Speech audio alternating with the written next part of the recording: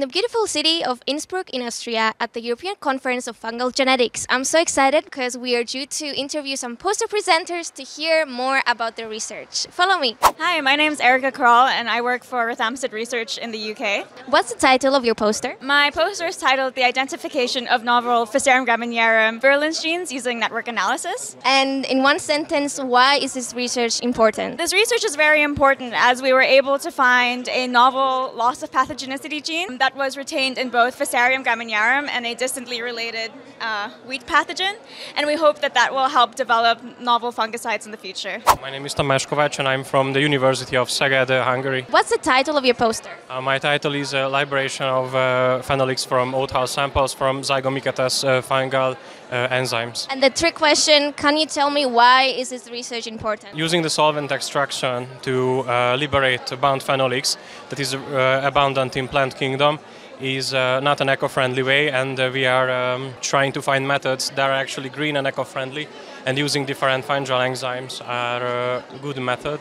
What is your name and where do you come from? Hi, I'm Dianiris Luciano and I come from uh, USDA Beltsville in Maryland, USA. What's the title of your poster? So it's called Into the Blue Yonder Forward and Reverse Genetics Approaches Undercover Virulence Related Loci in the Blue Mold Fungus Penicillium expansum. And in one sentence, can you tell me why is this research important? It is important for food safety reasons. So we study a fungus that is mycotoxigenic and it produces patulin, which is uh, regulated by many agencies to prevent just food loss and also uh, food safety for people. What is your name and where do you come from? Hi, um, so I'm Siddhant and I come from Swedish University of Agricultural Sciences, Uppsala. Can you tell me the title of your poster? Yes, uh, so my poster is genome-wide association study of Clonostachys rosea, uh, mediating biocontrol of Zymoseptoria tritici in wheat germplasm.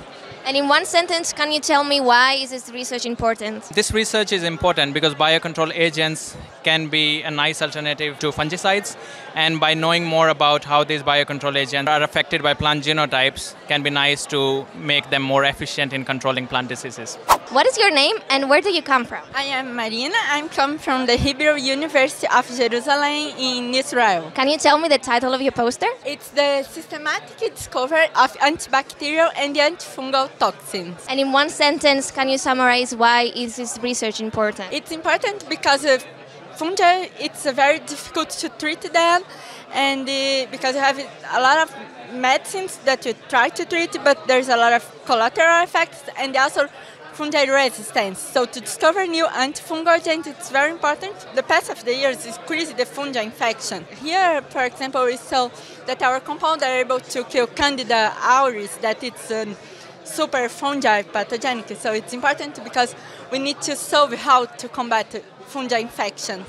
What is your name and when do you come from? My name is Julia and I'm from the University of Sevilla. Can you tell me the title of your poster? My title is Similar Phenotypes of White collar A and White collar B mutants reveal uh, regulatory functions as a complex in Fusarium fujikuroi. And in one sentence, can you tell me why is this research important? We find some evidence that the complex must be active in uh, dark, and this is uh, the first time in Fusarium fujikuroi. Uh, well, the confirmation, we can see um, the impact in the production of different uh, metabolites that have um, industrial importance.